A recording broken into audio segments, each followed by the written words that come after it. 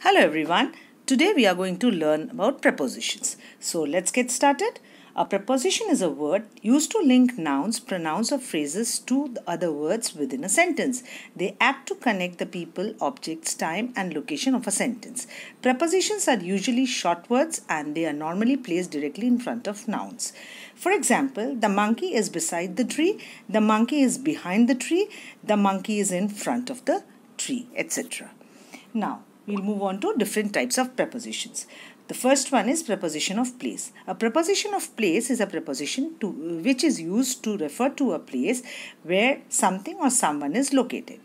For example, behind. The dogs are behind the postman. The dog is in front of the man. The dog is next to the bones. The dog is beside the bones. The bone is between the two dogs. The dog is near the book. The dog is close to the book.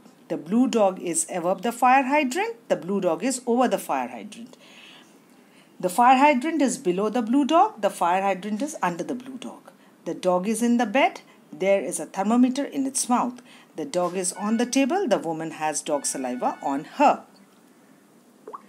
Now, we'll move to the next one. Preposition of time.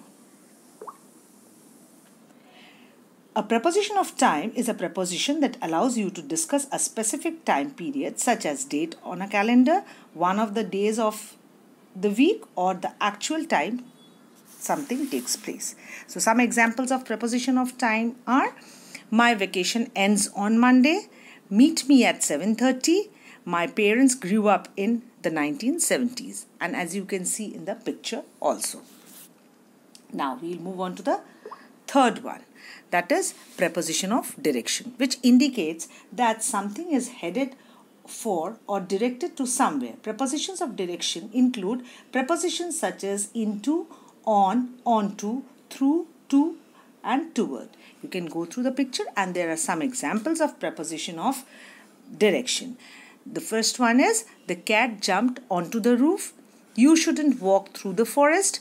We ran towards the castle Hope you like my video. Stay home and stay safe.